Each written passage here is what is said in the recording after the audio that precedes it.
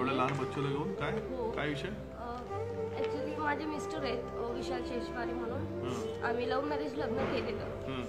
तर अ, म्हणजे माझ्या नवऱ्या मिस्टरांचं लग्न अगोदर अशी खूप अफेअर होते पण मी त्यावेळी काय बोलले नाही मला बोलले सुधरत आणि त्यावेळी त्यांनी एक कबुली केलेली की माझं माझ्या चुलत भाऊजेसोबत रिलेशन होतं.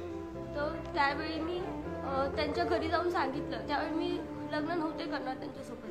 पण ते मला बोलले मी सुधरेन. त्याच्यानंतर लग्नानंतर आम्ही गावी होतो तीन महिना. त्याच्यानंतर नीट होते. त्याच्यानंतर जसं आम्ही मोबाईल आलो वापस त्यांनी तसं चालू केलं दोघांचं रिलेशन आणि आता पण म्हणजे माझी एक मुलगी तीन वर्षाची आहे आणि ही दोन महिन्याची. तर आता वापस त्यांचं रिलेशन चालू झालं. तर मी ती बड्डेला आलेली. त्याची चुलत भाऊज आहे. तर मी बोलले ती का बड्डेला आली? म्हणून त्याने घरात मला खूप म्हणजे ही पोटात असताना पण मारत होता आणि तिच्याशी बोलायचा. मी सगळे स्क्रीनशॉट चार्ट सगळे ठेवलेले. कुठे? मी गौतम नगरला राहते. कुठे आला गौतम नगरची मोठ गोंडी, हा. आज कशा आल्या तुम्ही? म्हणजे कोणाला म्हणजे विचारून आल्या? म्हणजे काय मी कशा तुम तुमचं ते फेसबुकला सर्च मारलं. बरं. म्हणजे आता असा प्रॉब्लेम झालाय आता की घरी बाळाला बरोबर कोण असतो? तुम्हीच असतो का? मी एकटी. हो. म्हणजे ते ते काय करायला लागल्यात आता सध्या की त्याच्या आई वडील त्याला म्हणतात की हिच्याकडून सोडचिठ्ठी घ्यायची. आणि या मुलीला म्हणतो टाक तू आणि जा तुझी तू निघून. आता ही दोन महिन्याची मुलगी मी टाकून कशी जाणार? तुम्ही काय काम करता का? नाही मी घरी असते. घरी हो. आणि तुमचे मिस्टर नवरा काय करतो? त्यांच्या भावासोबत असं बिल्डर लाईन मध्ये ते रूम हे करतात. क्लायंट किती ते वर्ष झाले लग्नाला? चार वर्ष. आणि मग घर कोणाचं आहे? आम्ही भाड्याने राहतो रेंटवर किती वर्षाची? मी दोन महिन्याची. दोन महिन्याची. हो. तुमच्या घरी कोण कोण आहे? माझे आई वडील आहेत पण ते पण गरीब आहेत. माझी मम्मी घरकाम करते वडील वॉचमॅनचं काम करतात. पंधरा दिवस झाले असे बाजूवाले मला रोज सकाळ दुपार दोन टाइम जेवण देतात. जेवायलाही देत नाही? खर्चालाच पैसे देत नाही. मग आणि मग मी विचारलं मी जाणार कुठं? मला म्हणतो मी तू कुठं पण जा मी काय करू? तुमच्याकडून काय मदत मिळेल म्हणून मी इथं आले. काय मदत पाहिजे म्हणजे मला फक्त माझ्या नवऱ्याकडेच नांदायचंय. बाकी मला सोडचिठ्ठी आली. सोडचिठ्ठी जरी मागितली तर तो म्हणतो मी या मुलीचा खर्च नाही देणार. आता माझं आयुष्य खराब करून मी माझ्या पोरीला घेऊन जाऊ कुठे? म्हणतो हिचा खर्च देणार नाही म्हणतो. माहितीये का सर? माझी म्हणजे एवढी पण कंडिशन नव्हती की मी तुमच्याकडे येऊ शकते. माझ्याकडे एवढे पण पैसे नव्हते. मी माझ्या बाजूवाल्याकडून पैसे घेऊन आलेले तुमच्या इकडे. कारण कसं आहे म्हणजे त्यांनी एवढी माझी परिस्थिती हे केली की या मुलीला दुधासाठी खूप तरसवायला लागला. मी जर खाल्लं तर माझ्या मुलीला दूध भेटेल.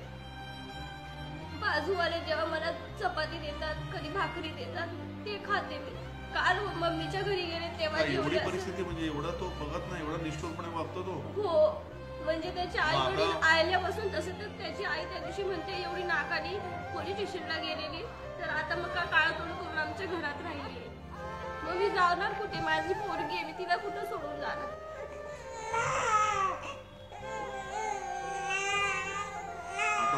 दूधच चालू असेल ना मुलीला? ठीक आहे तुम्ही एकदा सांभाळा व्यवस्थित. मी काहीतरी तुमच्या संगोपनासाठी प्रयत्न करतो. की तुम्हाला काय कसं होईल कशी मदत मिळेल ते मी बघतो. या बसा. बसा बसा बसा.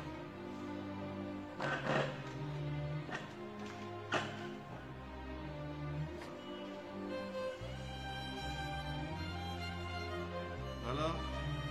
दूध प्याली.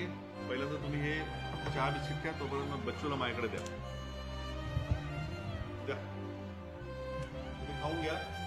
आणि अं, हे घ्या नवरा घेऊन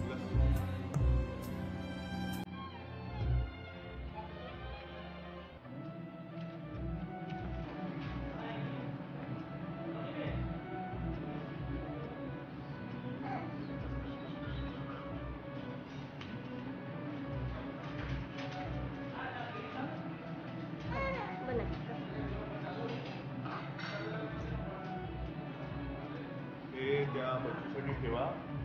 आणि तुम्ही काहीतरी खाऊन घ्या. मग आपण नंतर बोलू.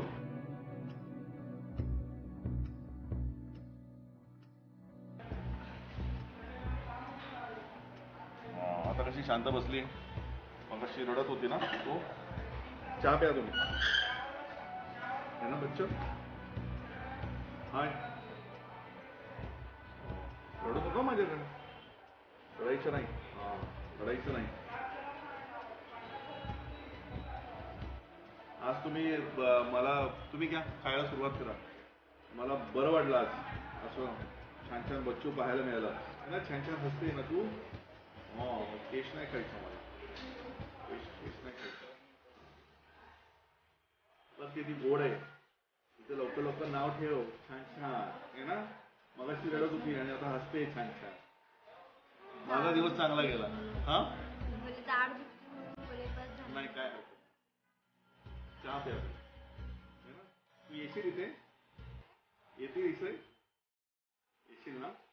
येशील ना? है आपण तुझा सांभाळ करू छान है ना? तू येत जा इथे. काय? काय? ओ? व्यवस्थित सांभाळ कर.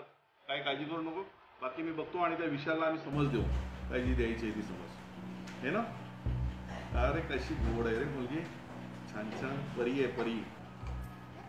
आहे ना? तू परी आहे ना? छान छान. तो बाप वेडा असेल जो आपल्या मुलीला सांभाळत नसेल. है ना बच्चा?